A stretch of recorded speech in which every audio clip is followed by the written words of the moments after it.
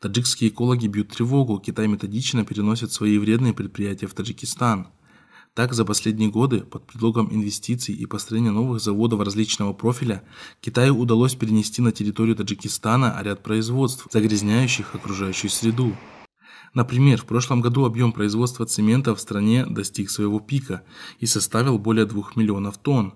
Причем основными производителями цемента являются такие китайские предприятия, как СП Хуаксингаюр цемент, Чунгцай Махир цемент и так далее.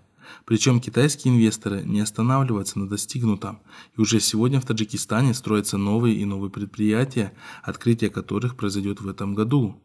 Ожидается, что при сохранении данной тенденции в ближайшие годы в стране появится еще несколько аналогичных китайских предприятий, производящих в окружающую среду вредные выбросы.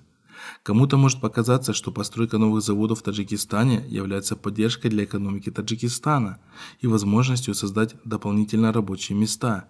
Однако экологи предостерегают, строительство подобных заводов представляет серьезнейшую угрозу для экологии Таджикистана. В интервью информационному агентству «Азия Плюс» независимый эколог на условиях анонимности сообщил следующее.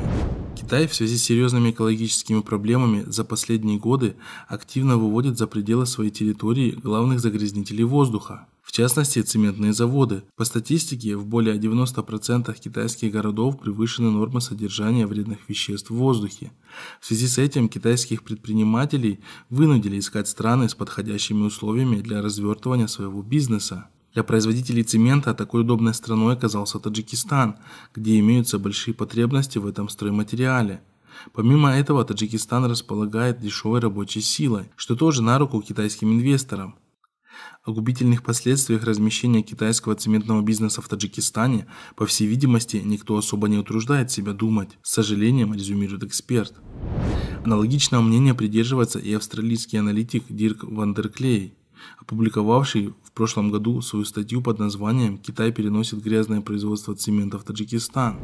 Эксперт по Китаю проанализировал ситуацию, сделав вывод об угрозе, исходящей для Таджикистана со стороны китайских цементных производственных мощностей. По мере того, как прибыль китайских цементных предприятий в самом Китае сокращается на фоне увеличения расходов из-за внедренных жестких экологических норм, они ищут выгодные места за рубежом для развертывания собственного производства. В этом контексте Таджикистан отвечает подобным требованиям ряда китайских инвесторов. Китайские компании в Таджикистане претерпевают меньше враждебности, чем в других странах Центральной Азии – за последние три года, благодаря китайским инвестициям, производство на таджикских цементных предприятиях увеличилось в пять раз.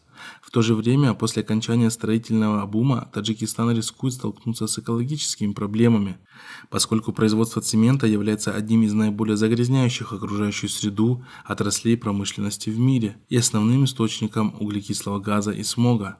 Примечательно, что при открытии большинства предприятий президент Рахмон присутствовал лично, преподнося это как успехи властей в развитии экономики Таджикистана. Все это лишь в очередной раз демонстрирует безразличие и пренебрежение Рахмона в отношении народа страны, который он уже ранее обрек на постоянную трудовую миграцию, от которого защитился российскими военными базами и религию которого методично выдавливает из общественной жизни – Теперь же, как выясняется, Рахмон решил превратить Таджикистан в мусорную свалку для соседнего Китая –